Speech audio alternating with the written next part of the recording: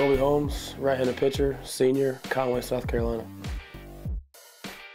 When Coach Holbrook took over this year, you know, just knowing his background is uh, he's really laid back. He's a, he loves the players, he loves the game, and um, he just wants the best for everybody out here.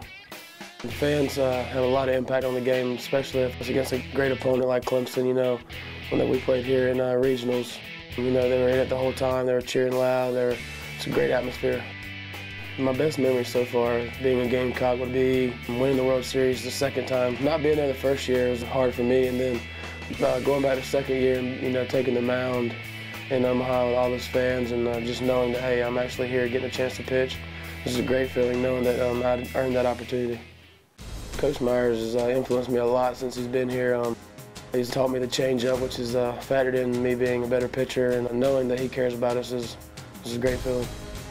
Baseball is really important to me, considering it's uh, what I'm really good at, and I was raised playing baseball. My dad's been a, a great factor in that, making me uh, go to the field and practice. He's always been there for me. Uh, him being a preacher and whatnot, he uh, always gives me like quotes and whatnot, make me get, get me through the day, you know. And then my brother coming along, being uh, almost in college, he's just uh, been there for both of us through everything.